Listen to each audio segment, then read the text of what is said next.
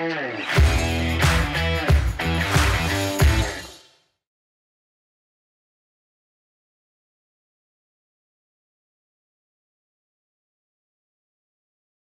and welcome to School Talks. I'm Purva and today we have with us Clary ma'am.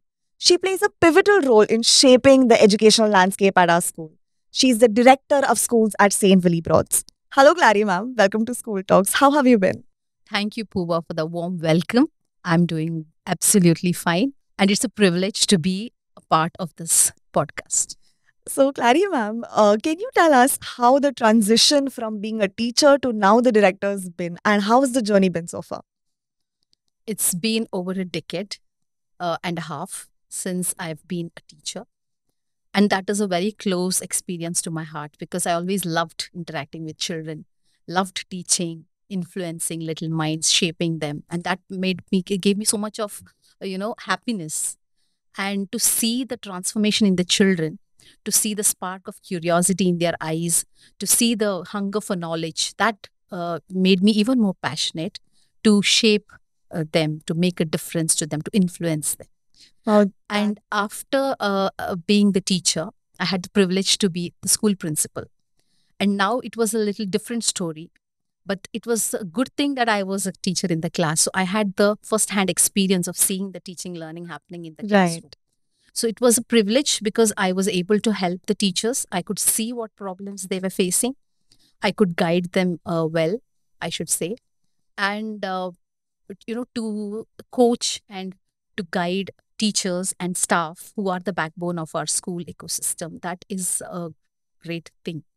And uh, it cre- you know it, it creates a ripple effect. So whatever uh, the leader or the school leader as a principal uh, what culture you want to build what values you want to instill what learning you want to give the children it goes down as a ripple effect. Right. so the teachers take it the whole school has that culture and then goes down to children. And it's so fulfilling to see that happen. And now i'm here as the director of schools where i have a broader perspective. I can see uh, how to build this school ecosystem the community and uh, to give the children a good learning experience to empower the students because today the needs are so different from what we have over a decade uh, ago. And to empower the teachers because they are the front liners who are going to the classroom and who are you know, dealing with the children and the facing the uh, parents the first hand people who are coming in touch with Right. all these uh, teaching and learning So currently you're working very closely with teachers, right? I mean, how is how does that feel? I mean, you know, coming from being a teacher, how are the shared exp- what are those shared experiences that you have with them? for me, especially personally, I have been able to work in a place as a teacher and uh, continue there as a principal. So I had Right. more insight into the institution, the organization. I could understand the needs of the children. Yeah. I knew what are the things that the staff uh, need to develop, you know, what areas. I knew uh, at least I had an idea of what the parents' concerns are, what what uh, they they want from us. So based on that, it has helped me, you know, in uh, making that uh, making things available to them uh, to guide guide the teachers in making the taking the teaching learning path in the right direction. Right. So, Clary ma'am, can you share some insights about how you're making St. Willibrord's a better school? Yeah, so today you can see there are hundreds of schools around. yeah, and a lot of new schools coming up also. But it's not just about building schools. And when you say making schools uh, better, it's again better in so many ways. It's not just about the infrastructure. The buildings, uh, schools are not just about the bricks and mortar, you see. It's more than that. It's about the kind of experience that the children get in the school. It's the skills that they develop. So uh, it's about how they are, uh, we are preparing them for life. Uh, what kind of innovative me- methods we are following uh, and to make them future ready. We are a future inspired school. So we want the children to be ready for future. So we need to make sure that we instill in them values at the same time skills. So you know uh, the world is changing so rapidly, and for the children to be able to cope up with the change, they it's not the classrooms are not just the only thing or the building is not the only thing. They need to develop resilience to thrive in such a changing world. They need to think critically. They need to adapt to the changes. So these are the skills that we uh, you know as a school have to have to make it better So, how are you developing these skills in your children? These 21st century skills that you just spoke about, uh, say, cognitive thinking and these leadership skills that are so very needed today. so uh, today it is very competitive Right. if we compare it to, to our times uh, today it is so competitive and there is a lot of information explosion that is all you know, all the information is already there so children need to be guided in the right direction there are children who can self learn as well because of the availability of information and knowledge. So what we need to do is we need to build in them the skills. The knowledge is already there. At the click of a button you get it. You don't even need a teacher. But then how will the child pick the right knowledge? So we Right. need to guide them and to build skills in them. So uh, skills like uh, as you mentioned the 21st century skills of creativity collaboration. This this comes uh, you know by practice so we have uh, uh, you know, uh, learning by doing giving experiential learning to students we have activities every Hmm. month uh, you know competitions of uh, various kinds because we have to cater to different uh, needs of the students Right. so we have all kinds of competitions and activities where we are developing these skills. Uh, we give them project-based uh, learning, uh, you know, where the children are doing some research, where they are uh, bringing, collating information and presenting it before class so that they can build on their uh, soft skills. Uh, we also have uh, group activities because it's very important today that they learn uh, to deal with each other Of uh, course. to uh, build themselves emotionally, to be aware of their emotions, to uh, accept each other. That is so important today. So this is how we are trying to know by giving them these experiences in school. Uh, then design thinking again, we have uh, designed a curriculum in such a way where children are thinking. It's not just the rote learning and you know just by hearting the answers Right, and then right. giving the exam and getting marks, but then they need to think to, to analyze how did this happen, why did this happen, to question uh, why it is happening so. And again uh, the leadership. So uh, st willibrord school always gives a high uh, you know stand for leadership. So to, to every child is a leader. Every child is a learner and is a leader because he leads his own life so he needs to go in the right right direction. So we need to equip him or her with the skills that is needed. Of course. so uh, confidence uh, to build uh, the ability to speak in front of others without you know without feeling uh, scared uh, to be able to, to express their ideas openly uh, to def- uh, you know it's not to defend themselves but to put their point across. So all these are things that we uh, make sure that our children develop by the various curricular and uh, extracurricular activities that we have for them Right. Would you like to give us an example of how you practice leadership building in your school? In terms of, you know, you can just give an, us, us an example about uh, some projects that you have going on. Yes. So we have had a lot of projects uh, in the past as well, and even currently we are doing a lot of projects. One of the projects that we had uh, before, or we have been doing, is the student-led parents meeting. So we want to give the student the autonomy. The student takes charge of his or her own learning and presents his learning uh, before his parents. Uh, we recently had the base camps, a model of the open house where the children are taking accountability and the responsibility for their learning and they're presenting their learning before their parents. So this builds in them all this 21st century skills, you know, of collaboration, uh, creativity, presenting, thinking, critical thinking, and uh, communication and confidence and things like that. Also, uh, we have uh, uh, student uh, programs like uh, leadership programs, trainings for children, where we give them exposure to interact with the outside uh, leaders of other schools or you know uh, children of other schools Right. we also motivate them to participate in extracurricular and co-curricular activities outside uh, the recent project that we had is the word leader project we believe that a pen is mightier than a sword wow. and yes. one can create influence uh, you know with just words and written word has so much of power. So uh, we had this ini- initiative and i think on 1st november we just uh, you know uh, on the authors day we have uh, launched the books on amazon. You can check that out as well. So these uh, this this is how we are building writers. Uh, we've had projects like read for change write for change when again we are giving the empower empowering our students. So by doing so you know we are literally empowering children to be leaders, to take accountability, to be responsible, to speak out. Right. Yeah. So you briefly mentioned about the Word Leader project. I mean, you know, empowering these students to find the author in inside of them. You know, there's the author. You know, being an author is a really respectable uh, uh, job in the society. You know, so how were you able to bring that out in children? How what are the you might have faced challenges? Obviously, would you want to address that a little? So, uh, WFC, that is Write for Change program, is is been a you know a pr- project that is an initiative of the school. So we have had the subject uh, inculcated into our curricula for over uh, uh, a decade now, I believe. And uh, what has happened is we wanted to take it a step further, and we thought, why not you know get the children to publish Right. skills? And as a tech savvy school, we've had all the technology and you know the resources. So why not use it? And uh, I think uh, when we give children such opportunity, you don't even know what is the hidden potential that they have. Maybe a child who has got this opportunity today may come out, you know, doing very well in life Of later. course. And one of them could be a famous author. Maybe this is his starting point.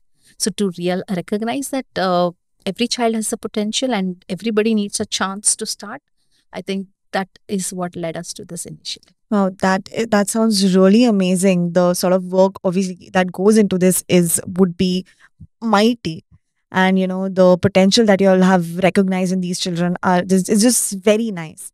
Uh, so moving uh, to the point of uh, tech savvy, you briefly mentioned that your school is tech savvy. Tell us a little something about that. if you just check with people around, they will uh, always uh, point out that St. Willibrord has been an innovative school, be it the teaching methodologies or it- the technology, integration of technology. So, our trustee, who is a visionary, has always thought of times ahead.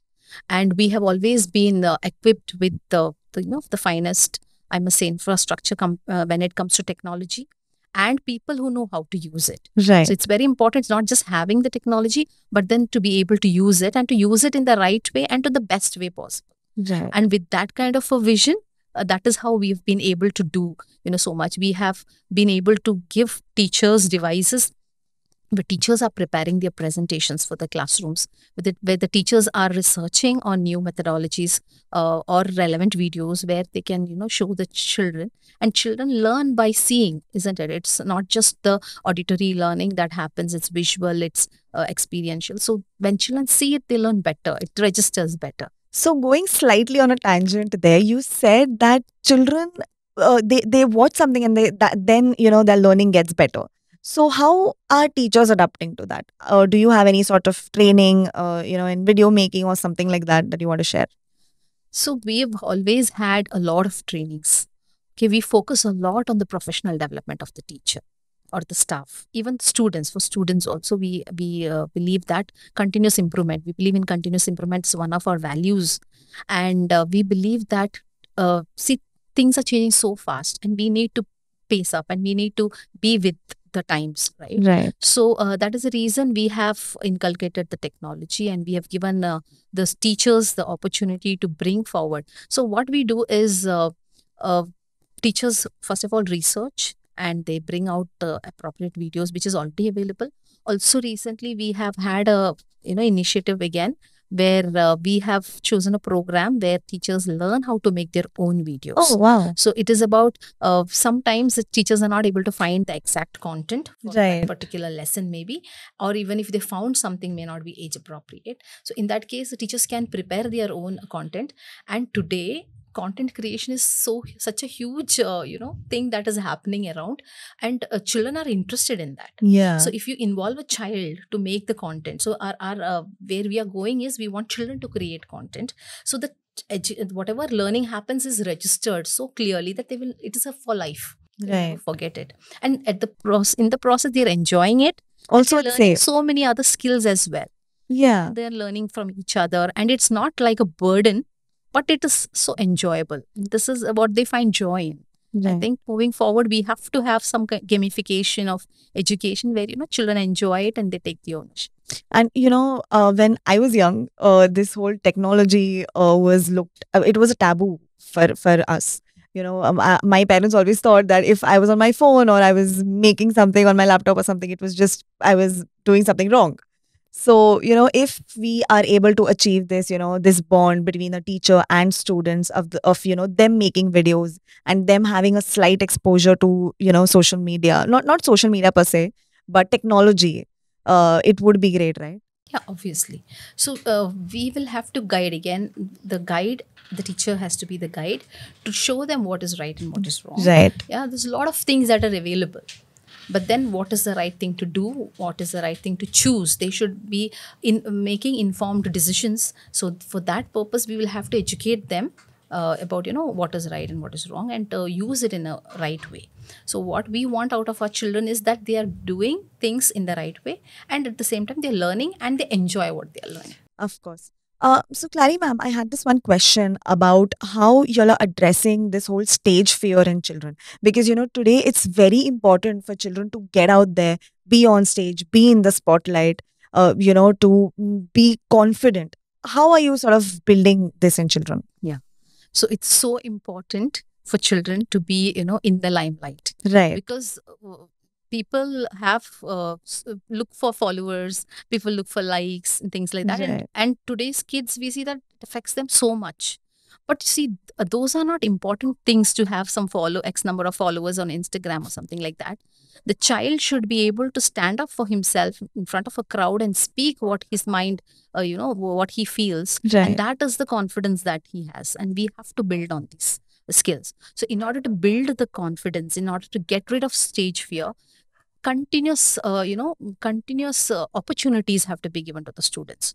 So what we do at school is we have as i mentioned we have activities events competitions happening every now and then so that uh, you know on a regular basis so that children are given enough opportunities. Right. apart from this we have events like spotlight fahrenheit or all our uh, celebrations that we have or uh, events that we have where we focus that all the children are able to participate. They come up on the stage they get rid of the fear and they you know just be uh, per- performers. Right. yeah to feel comfortable in the skin that they are and to just give their best. Right. because it starts from school. You you can't become an adult and then suddenly develop self confidence or you know public speaking skills. It has to be uh, developed over time. So that is the reason in school we make sure that children get ample opportunities Also, um, Clary ma'am, would you want to give share some tips with parents how they can sort of you know bring out uh, the confidence in their children? You know, this what you're doing, which it- it- it's in school. Can they do something that you know uh, bring out the confidence in their child, bring out the leader in their child at home? Yes, obviously. Uh, parents do play a pivotal role. Okay, it is now when we are talking about student, it's not uh, just a one man man army of the school who is going to shape the child. Of course. Okay, it is a journey. Education is a journey where all of us, that is the school, community, the teachers, the parents, the students, all of them work hand in hand. Uh, you know, to for the progress of the child. Because as I told, the child is the center. We want to develop the child, and for that, all of us have to work hand in hand.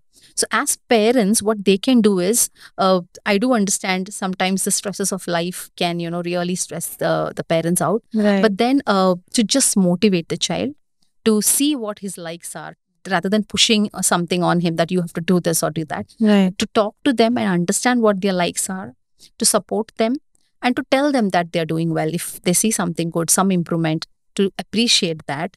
Many a times parents don't feel it, you know, necessary to say that. But then I think uh, a teenager would, uh, like a school going child who is in his uh, 12, 13, 14 years, would always want that validation. Right. So, as parents uh, who are very close to the children, most of the time we take it for granted. Yeah. Yeah. We don't say that. So, I think we should uh, motivate them and uh, even for the efforts. It's not the result, you see. Right. Yeah, what happens at the end may not be very good. The child has done something. So, we need to motivate and appreciate their efforts and tell them that's okay. Next time you can do better. And then help them, uh, you know, sit together as one team rather than Right. sitting across the table sit side by side and uh, you know make them see the point uh, as teenagers they would be rebellious because if we try to convince them saying something they would never accept it Right. because it is like that i just heard a talk where uh, you know it was said that uh, children who are in the teenage or 13 years and above they feel that the parents are stupid Oh, they are 13 years, yeah, till they are 24 years. Once they're 24 years, they feel that, oh, my parents so great. Right. So, you know, that is a phase which every parent has to go through. Yeah. And a child also has to go through. The child is going through so many different kinds of changes emotionally, physically, mentally, psychologically. So, I think uh, we as parents need to be a little more understanding, supportive. Uh, you know, so when we give them that validation, when we give them that approval, they feel confident Yeah. naturally. Yes. And suppose we don't do that, uh, they will look it look for it outside.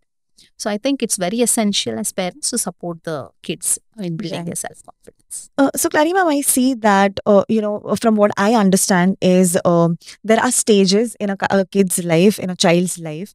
Uh, basically, uh, when the child is young, just showing up would matter, right, for them, for the child.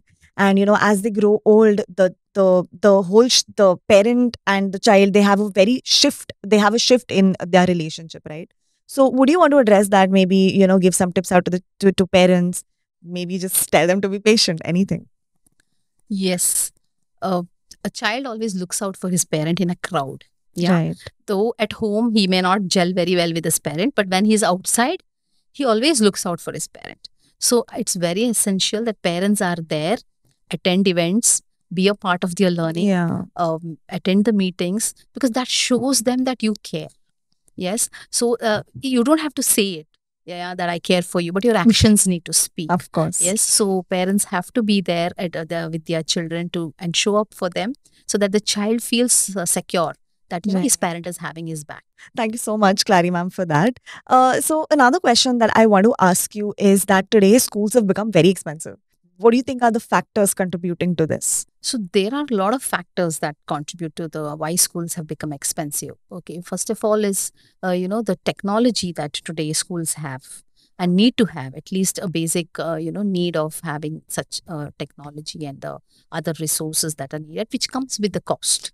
So Right. schools have to be able to afford it and uh, good uh, staff quality. When we have to maintain uh, quality in education we have to make sure that we have the right people so which again comes with a cost. So in order to provide and the safety and security of children which are of paramount importance again there are a lot of things that uh, you know demand uh, you know the, uh, where the cost factor comes in to ensure that the safety and security of the child is you know maintained in the school so all these are the different factors that contribute to why schools have become expensive mm, Correct. And you know, when when we, we talk about schools have become expensive, but then you know, it, it, it- there's a reason why why why they've become expensive. And at the end, all we want is the betterment of our child to give them the best, right? Yes, as every parent wants to give them the give their child the best. Okay, whatever I had as a parent, I would think I want to give a better, uh, you know, experience, a better education to my child, and this goes on for generations. Nobody wants to give less because they always see their children above them, you know, in a position or in a